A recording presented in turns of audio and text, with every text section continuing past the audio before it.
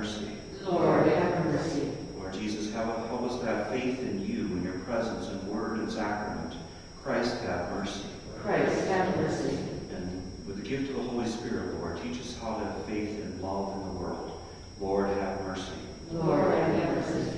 May Almighty God have mercy on us, forgive us our sins, and bring us to everlasting life. Amen. And let us pray.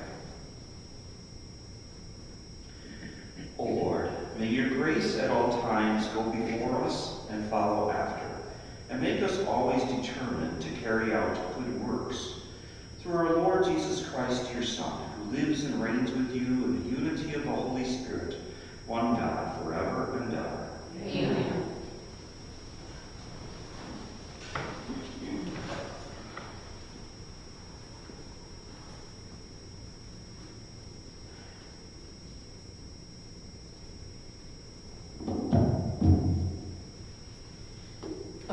from the letter of St. Paul to the Galatians. Brothers and sisters, for freedom Christ set us free. So stand firm and do not submit again to the yoke of slavery. It is I, Paul, who am telling you that if you have yourselves circumcised, Christ will be of no benefit to you. Once again, I declare to every man who has himself circumcised that he is bound to observe the entire law. You are separated from Christ, you who are trying to be justified by law. You have fallen from grace. For through the Spirit, by faith, we await the hope of righteousness. For in Christ Jesus, neither circumcision nor uncircumcision counts for anything, but only faith working through love. The word of the Lord. The psalm response is, Let your mercy come to me, O Lord. Let your mercy come to me, O Lord. Let your mercy come to me, O Lord, your salvation according to your promise. Let your mercy come to me, O Lord. Take not the word of truth from my mouth, for in your ordinances is my hope. Let your mercy come to me, O Lord. And I will keep your laws continually, forever and ever. Let your mercy come to me. And I will walk at liberty, because I seek your precepts. Let your mercy come to me, O Lord. And I will delight in your commands, which I love. Let your mercy come to me, O Lord. And I will lift up my hands to your commands and meditate on your statutes. Let your mercy come to me,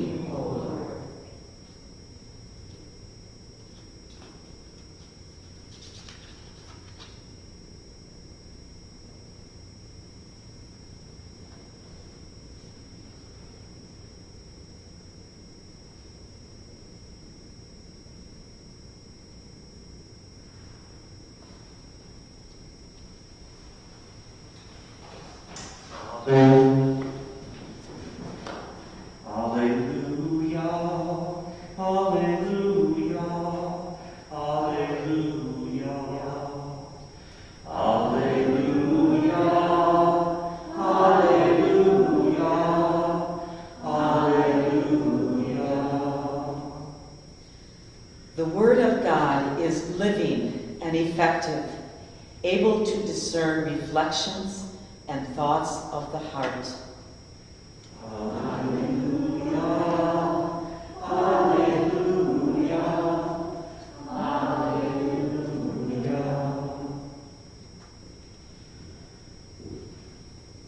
The Lord be with you. And with your spirit. A reading from the Holy Gospel according to Luke. Glory to you, Lord. After Jesus had spoken, a Pharisee invited him to dine at his home. He entered and reclined at table to eat. The Pharisee was amazed to see that he did not observe the prescribed washing before the meal. The Lord said to him, O you Pharisee, although you cleanse the outside of the cup and the dish, inside you are filled with plunder and evil. You fools, do not the maker of the outside also make the inside? But as to what is within, give alms, and behold, everything will be clean for you. The Gospel of the Lord. Praise to you, Lord Jesus Christ.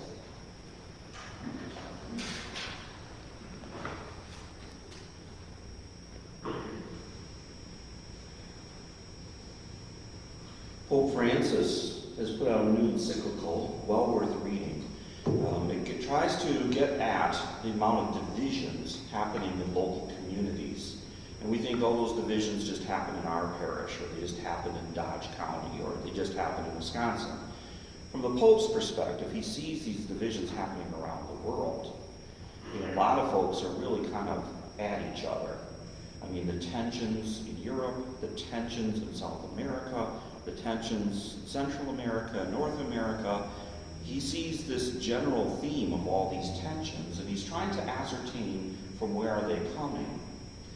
And a lot of times where they come from is a selfishness. You know, that we want more than our share. We don't want to collaborate in, about agency. Rather, we want to get what we can get and to be able to not let the other person fend for themselves. This is kind of one of the challenges of, of bullying in school, let's say, that you know, bullying in school becomes a multi-generational problem because if a parent had themselves been bullied, they'd rather see their child be on the bullying side of the bullying, not on the getting bullied side. And so more and more parents are teaching their child to be more assertive to the point of being aggressive. And so that's one piece of it. But part of it is, you know, that's what we keep being told when we go to vote. We should go vote for our own personal self-interests. What's your self-interest and vote for that. That too just reinforces the selfishness. And part of it is simply not connecting to Jesus Christ. You know, less and less people going to church adds up after a while because people aren't altruistic just own.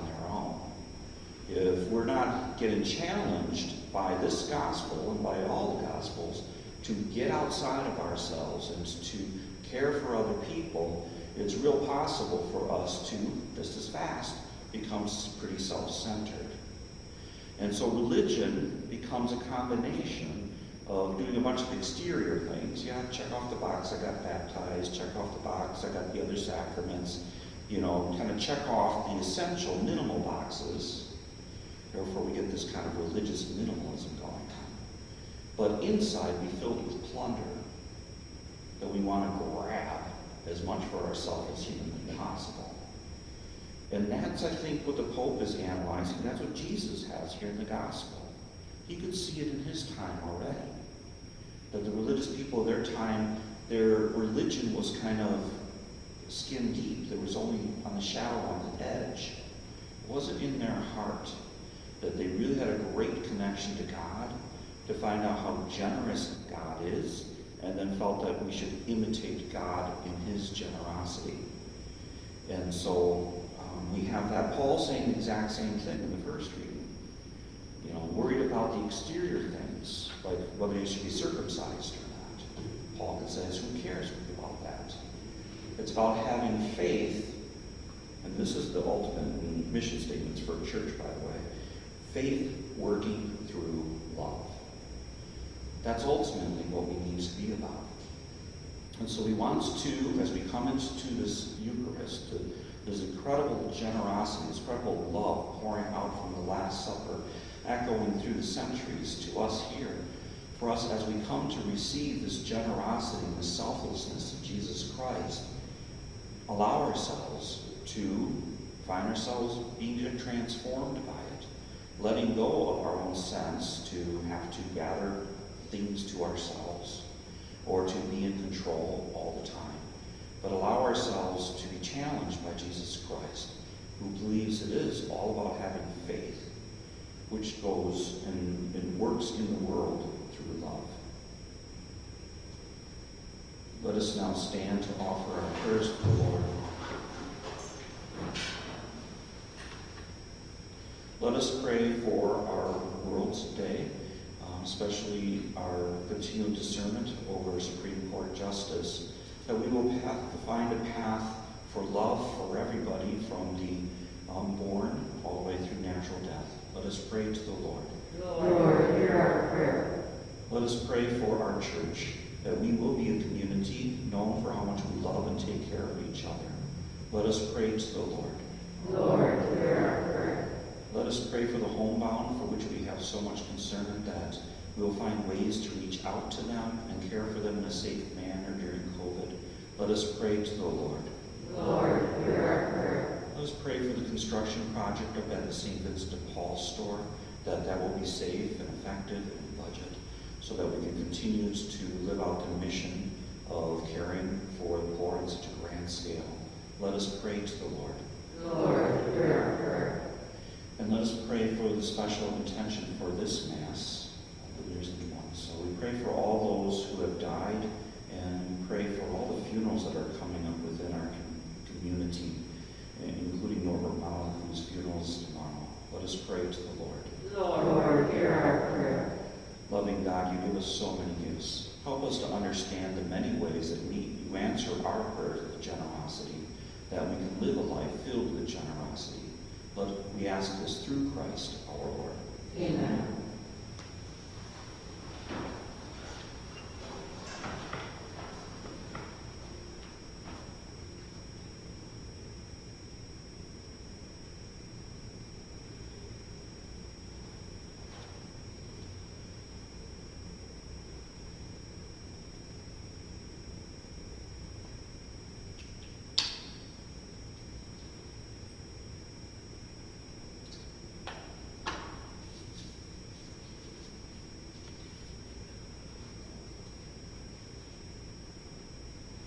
Blessed are you, Lord God of all creation. Through your goodness we have this bread to offer, which earth has given and human hands have made. It will become for us the bread of life. Blessed be God forever.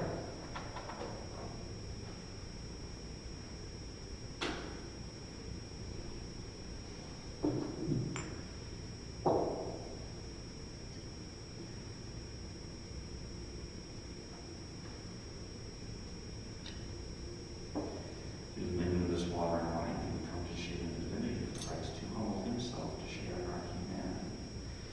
Blessed are you,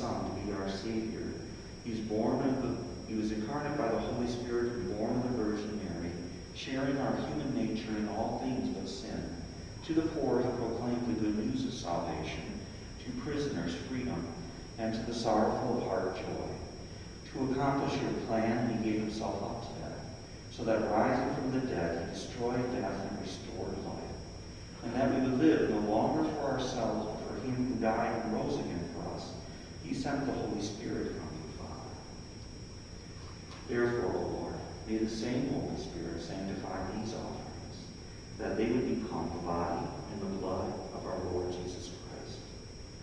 When the hour had come for him to be glorified, he showed the depth of his love. While they were at supper, he took bread. He blessed and broke it and gave it to his disciples, saying, Take this, all of you, and eat of it. For this is my body, which will be given up for you.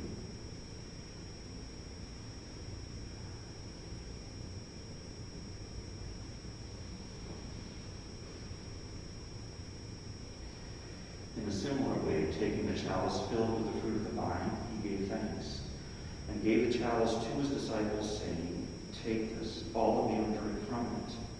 For this is the chalice of my blood, the blood of the new and eternal covenant, which will be poured out for you and for many for the forgiveness of sins. Do this in memory of me.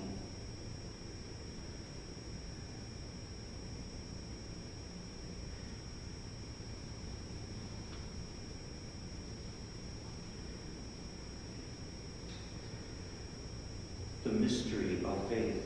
When we eat this bread and drink this cup, we proclaim your death, O Lord, until you come again. Therefore, O Lord, as we celebrate the memorial of our redemption, remember Christ's death, his descent to the realm of the dead. We proclaim his resurrection and ascension. And as we wait his coming in glory, we offer you his body and blood, the acceptable sacrifice which brings salvation to. Look upon the sacrifice which you've given to your church and grant in your loving kindness to all of us who will partake of this bread and this chalice to be gathered into one body by the Holy Spirit to truly become a living sacrifice and praise of the Father. Therefore, Lord, remember those for whom we offer the sacrifice, especially your servant Francis, our Pope, and Jerome, our Bishop, all the clergy, and all who take part in this offering, and all who seek you with a sincere heart. Remember those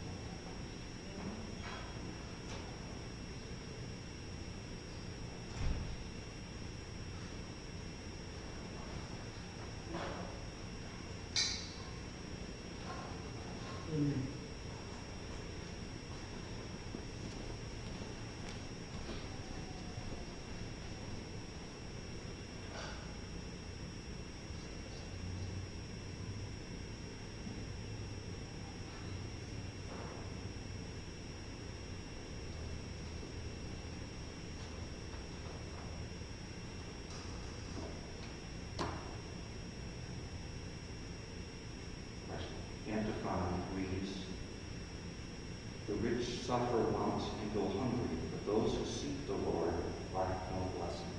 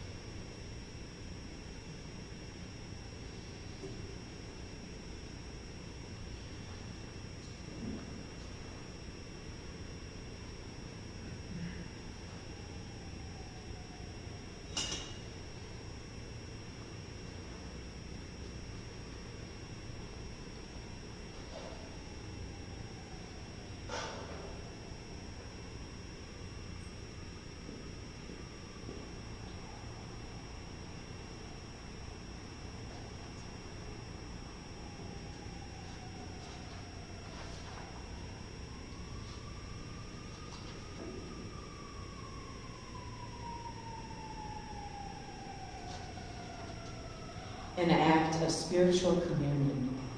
My Jesus, I believe that you are present in the most holy sacrament. I love you above all things, and I desire to receive you into my soul. Since I cannot at this moment receive you sacramentally, come at least spiritually into my heart. I embrace you as if you were already there and unite myself wholly to you. Never permit me to be separated from you. Amen.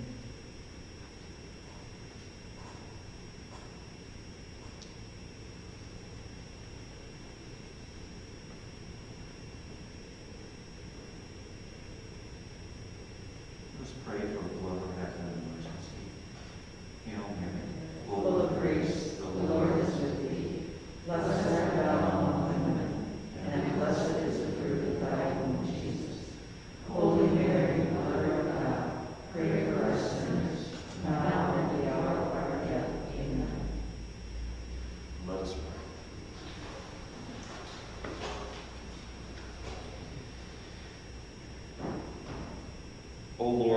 ask your majesty